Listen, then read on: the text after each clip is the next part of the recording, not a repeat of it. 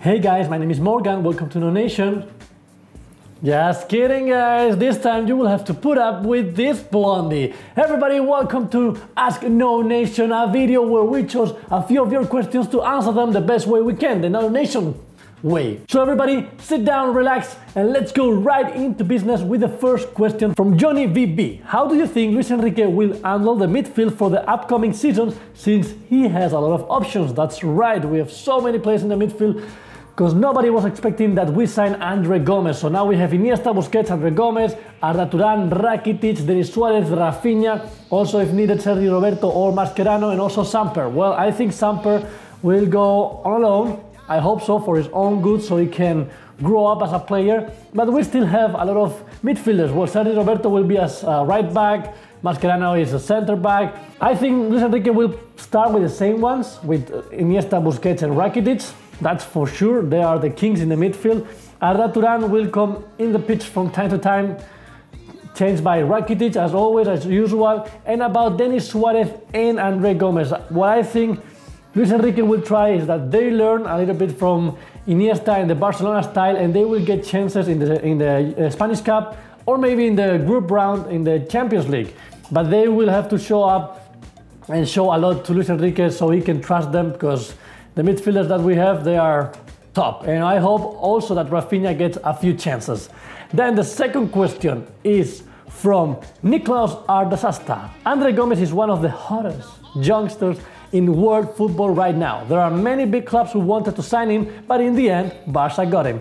What do you expect from him in this first season with Barca? Do you think he can deliver his service in the Barca's midfield? Well, what I expect from him is to learn, to learn fast, to learn a lot from Iniesta, because I think in a few years, if he stays, he will be the perfect substitute in that position. And I think he will deliver the service because he, he was very happy when we signed him. He wanted to join Barca and he was a little bit scared when Madrid was after him and another teams because he, he thinks he fits in Barcelona style. So hopefully we can see that on him and he score many goals and he can help the MSN because the good thing that he has is that he's a midfielder that goes to the attack and helps in the front and knows how to score goals. So I I hope he can do great things in Barcelona. The third question from Bader Aliaya 2002. Hello, Nou Nation, I'm a big fan of yours, and my question is Is Messi the same Messi that we had back in 2011? People say he changed and he's not like before. Well, it's, it's true, he has changed. I think now he's a more mature player, he thinks more, he doesn't go crazy and risk it all. He doesn't want to get injured because now he's getting older and you know the muscles are getting tired. But no, I'm kidding. He's more mature. He now is he doesn't want to spend energy just to spend it. He looks where to the ball can go, if he can run through the defense or not. Before he was in, the, in his golden uh, moment when he was winning Ballon d'Or, scoring many goals, and he was after everything. He wanted to show that he was the best in the world. So yeah, I think he has changed, but not in a bad way. Just it's, it's different. Before he was younger, he wanted, he had big, big expectations. Now he's a little bit older and he has shown the player he is. So the next question is from Henry H. If you could buy a replacement for Dani Alves, who would it be? Love your videos, keep it up with the news. Well, I know you all like Bellerin, but I will go with some different players, okay? Uh, I think one of the, I will give you three options and then you can buy the one you want. The first one will be Philipp Lahm, I think is, I know he's a little bit old, but he's a great right back and he can also play in different positions. He's a great captain from Bayern Munich and I think he would be a great replacement. Then another one, I know is from our opponent, but I will go with Dani Carvajal. I think he's a great defender with a bright future in front of him if he keeps working hard and it looks like he will.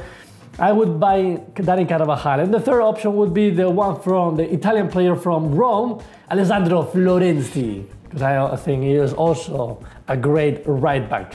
But that's just my options. I would like to know who would you sign as a replacement for Dani Alves, even though we love Aleix Vidal and Sergio Roberto. The next question from Sirahum Munir Fahim. If you could sign anyone from any team in the world for Barca, fee, rivalry are irrelevant. Who would you sign? uh, good, good. Well, I would go for a center back because well now we have Umtiti and we still have Mathieu and Piqué Mascherano. Yeah, Mascherano is getting older. I know we have Umtiti, but I love Italian defense, so I would go and I would bring Barzagli.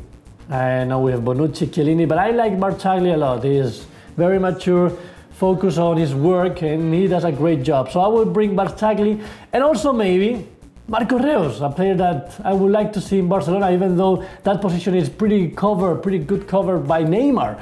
But those are the players that I would bring if I could bring anyone. And who would you bring, Sirahum? Next question from Ben Masson. In your opinion, what was the best decade in football, Bar- football Club Barcelona's history? Well, I have to say that in my, for me, what I have seen, I would go with the sextete from Pep Guardiola. It was a great moment for Barcelona with great players. We won everything that we could win. But I also think we have now a great team. And also, one of the brightest moments for Barcelona was the Dream Team when we won the first Champions League in 1992 with uh, Cruyff as a trainer, and we had Pep Guardiola, we had great players. But for what I've seen, I would say when we had Pep Guardiola as a trainer and we won the Sextete, that would, that would be for me the best decade for Barcelona. The next one from Steven, age 24. Could you name your preferred lineup for this season and name three players you want to see coming to Barcelona in the next couple of years? Well, my lineup would be the next one. It's just the one I would prefer, okay? In the goal, I will go with Ter Stegen. I know there's a lot of fighting between Ter Stegen and Bravo because they both want to play everything, but I'm German, so Ter Stegen in the goal. Center backs, Umtiti and Piqué. We love Mascherano, but the young players, they should get a chance. Right back, Aleix Vidal, and left back, Jordi Alba. Then in the midfield, I would put Sergi Roberto. Yes, I love that player. With Iniesta and Rakitic, and in the front, Messi, Neymar, and Luisito Suarez. And if I could, in a few years, if I could bring three players, it would be definitely Dybala, one of them. The other one, as I have talked before, I would bring a center back, a young center back, Italian if possible.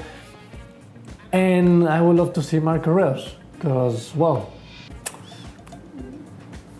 I love him. And the last question is from Hassan Momani or Momeni. How many trophies do you think Barca could win this season? Could they make the treble or all the six trophies or less? Please. Really?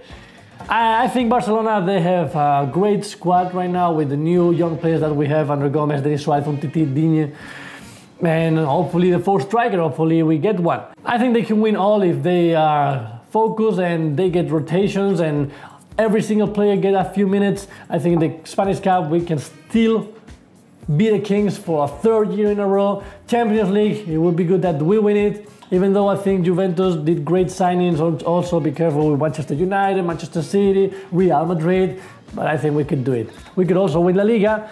We can win everything if we want to. Every single team can win everything if they want to. Well, guys, that's all for today. Thank you for your beautiful questions. And if you have more, don't hesitate to write them right here below with hashtag AskNouNation. And me or Morgan or Juan will answer them just for you. And if you're not subscribed to our Nou Nation channel, what are you waiting for? Just click the spotlight right here below and follow us on Facebook, Twitter, Instagram, Snapchat. See you soon.